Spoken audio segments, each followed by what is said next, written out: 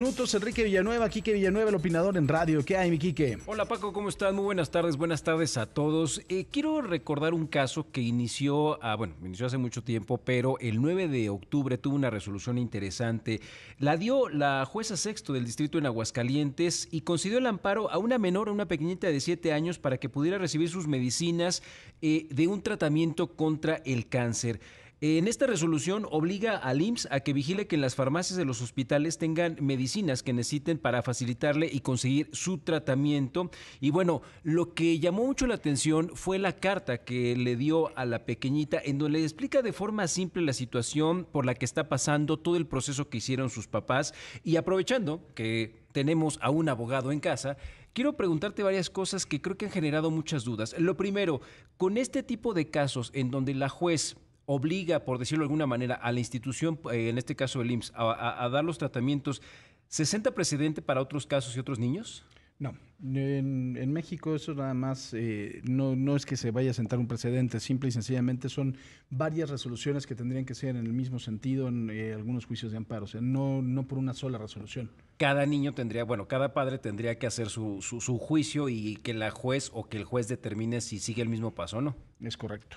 Oye, y ah, bueno, también esta carta llamó mucho la atención. Algunos pensaron que esto es lo que se presentaba ante los juzgados y no, ya después se dijo que era solo un eh, grado interdicción. ¿Qué es el grado de interdicción?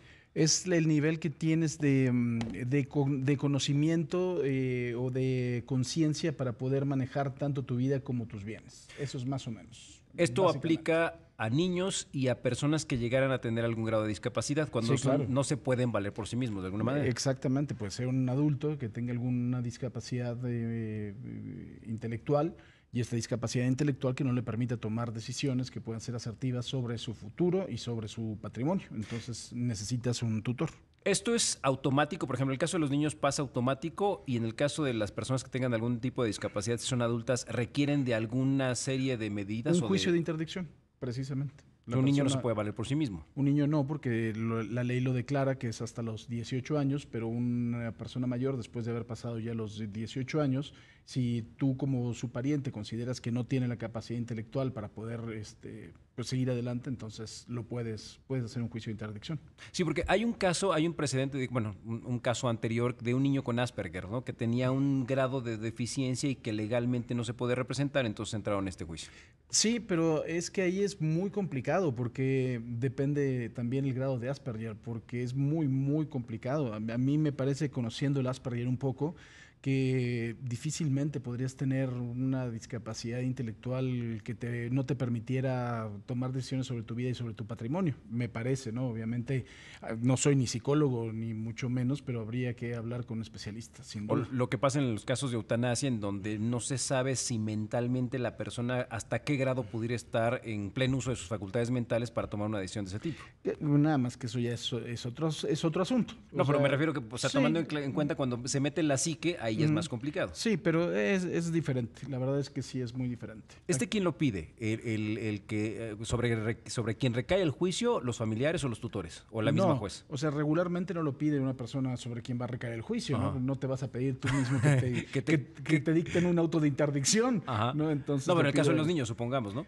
Eh, sí, pero los, niños no necesitan hacerlo, porque los niños finalmente están bajo la tutela de sus padres o, o tutores, vale la redundancia. Entonces ellos no necesitan pedirlo. O sea, los niños están eh, legalmente bajo la tutela de sus padres.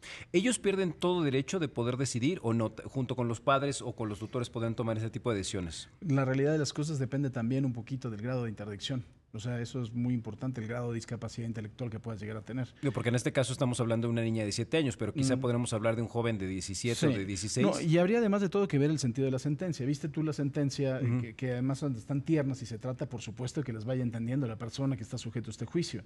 Y en, este, en esta carta, bueno, que no, es una sentencia, sino es la explicación en una carta a la sentencia jurídica que tiene todas las bases y fundamentos, eh, la juez le, le explica de verdad de forma, me parece tierna, ¿no? Le dice, bueno, vamos a decidir juntos a ver si tienes la capacidad de poder tomar decisiones por ti misma. Con peras y con manzanas, como bien decías. Es correcto. Los, las, en este caso, los niños o la persona que tuviera algún grado de discapacidad, ¿puede eh, negarse a este derecho o es ya este, forzoso? O sea, en el caso, supongamos, de un jovencito de 17 años o de una persona que independientemente de que tuviera algún tipo de deficiencia intelectual, dijera, no, yo no quiero utilizar este recurso. Mm, eh, no, es una decisión del juez. Ahí sí ya no hay ninguna. Es una decisión del juez total y absolutamente. Porque normalmente, bueno, estamos aquí en un tema de salud, pero cuando tiene que ver con una cuestión de firma de contratos o de adquisición de bienes, ya ves que esto siempre es peligroso. Claro. No, además, hay un solo caso en donde se da la emancipación eh, de un menor de edad y es cuando contrae matrimonio con la autorización de los padres. Entonces, en ese momento tienes que tener 16 años cumplidos y en ese momento se aplica en algunos códigos civiles la emancipación anticipada. Si esto lo ligáramos con el caso de Oaxaca, en donde los niños pueden decidir eh, la, preferencia de sexo, ¿ahí se podrían meter los papás o no? ¿O ya quedó legislado? No, no, sí, sí podrían hacerlo. porque vivimos en un país en donde el niño puede decidir sobre su sexualidad, pero no puede ir a comprar unas papitas. Sin palabras, Kiko. Ok, pues qué bueno, creo que ya quedó muy claro y ojalá, como dices, esto siente precedente para cambiar mucho más eh, cosas legales. Y bueno, creo que fue un acierto lo de la juez y además muy tierna, como dices, la manera en que le explicó a la niña. Sí, la verdad es que estaba muy padre. Y digo, eh, me parece que es eh, algo muy, muy afortunado eh, que se haya impulsado eso en la legislación para que también quien esté sujeto a esto, que a veces no, no tenía este nivel en el entierro, la verdad es que pueda entender un poco de lo que le está pasando ¿no? a su alrededor. Y sobre todo en un caso tan delicado como pues, es el tratamiento del cáncer. Claro, así es. Pues muchas, muchas gracias, creo que ya quedó súper claro. Eso, muy bien. gracias.